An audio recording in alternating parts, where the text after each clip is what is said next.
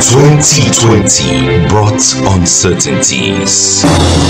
But in 2021, a global phenomenon was declared. It began with soaring above.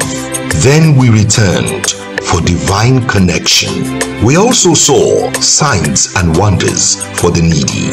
The train moved to divine touch. It arrived and we experienced divine solution. And then we boarded the GCWFK 800 flight to showers of blessings. And here we are. After sailing, we can see the wonders of the cross.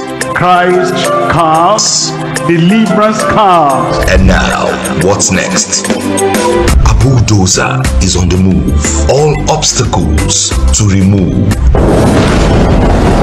It's a great miracle explosion loading. The blind will see, the lame will walk. Your future is brightly reloading. Live from Africa's popular commercial hub, Lagos, Nigeria, is about to host the mother of all global crusades, the December edition of the Global Crusade with an international gospel evangelist, Pastor Dr. W.F. Kumuyi, along with an international gospel artist, Paul Baloche, ministering in tongues. There will be non-stop miracle December 21 to 26 2021 We connect with the power of God. We connect with the glory of God.